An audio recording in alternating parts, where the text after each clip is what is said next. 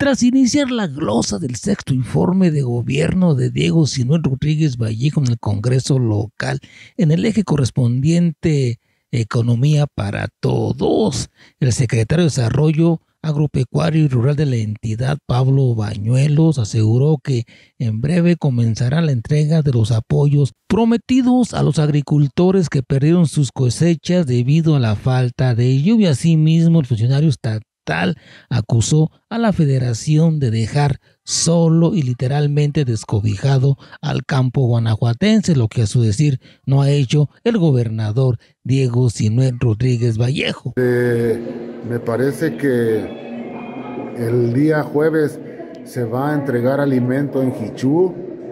Este, el día martes se va a entregar en Dolores Hidalgo y andamos entregándoles a todos los ganaderos mujeres y hombres que se dedican a esa actividad tan importante.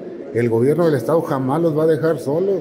Deberían de preguntarle ahorita a los diputados cuál es la, aportación que hace el gobierno federal para contrarrestar la sequía, porque ahorita no les puede uno decir porque son medios jarritos de tlaquepaque, se sienten luego, luego, pero nosotros estamos jalando bien. ¿Y hay un censo de cuánto se va a apoyar, cuántos son los afectados por la falta Nosotros estamos ahorita apoyando con esos mil millones de pesos que, anunció el señor gobernador, nosotros ya estamos mandándoles alimentos a todos y cada una de las ganaderas, a las dos, a, a la guanajuatense a la regional y obviamente también a los porcicultores y también les estamos dando alimento a los apicultores porque las abejas es como el ser humano, tienen que estar fuertes, tienen que recorrer varias distancias para poder estar recolectando lo que es el ¿Cuántas hectáreas se perdieron por la falta de Alrededor, cerca de unas 16 mil, 20 mil hectáreas que se perdieron y ya tenemos más de 22 millones y medio para para entregárselo a los productores 1.500 pesos por hectárea. Ahora que usted decía que nos estamos quedando sin agua, ¿qué tan grave es la falta de agua en el campo? Ahorita el problema es de que no nos ha llovido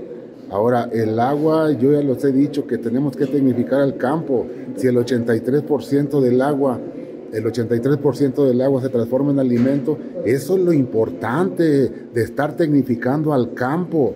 Pero es que el plan estatal hidráulico nos marca que tendríamos que estar tecnificando entre 18 y 20 mil hectáreas, pero únicamente le mete Diego Sinué. Entonces, ¿cuál es la problemática que dicen que tiene el gobierno para no apoyar a Guanajuato en tecnificar el campo. ¿Cuántas se tecnifican entonces?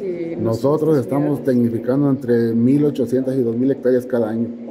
Eh, entonces la solución para contrarrestar la falta de agua, la tecnificación del campo. Claro, tecnificar el campo y que los pozos estén trabajando de noche, hacerle los reservorios, porque en la noche la cuota energética es más baja y además de que esa cuota energética es más baja, ya se se, se, se, pone en un reservorio y ese reservorio de ahí mandamos todo el agua de día y además de que van los fertilizantes ahí incluidos en ese, en ese mismo riego.